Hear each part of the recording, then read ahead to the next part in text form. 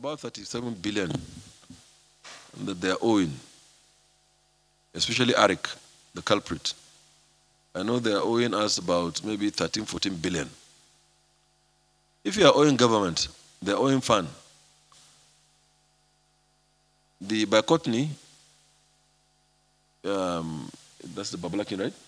The Bi-Courtney is owing, I think, about 14 billion as the last count.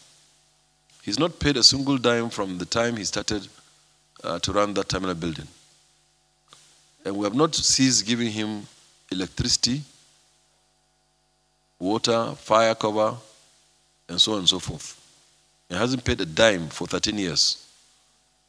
And if we go to shut his doors, the media, of course, and Nigerian people will say we're killing businesses. But he's killing our services too because we have to have that money to provide for that toilet that you're looking for in Lagos Airport. So we have to earn money. Most of these are living by the IGRs, and so we need the money. But we'll go after the money.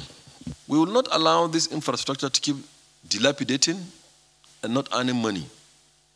We will ensure that we give you the best of infrastructure, put it in the hands of um, the private sector who understand the business, run it, and pay government and return back the infrastructure back to the people because we are social democrats in power.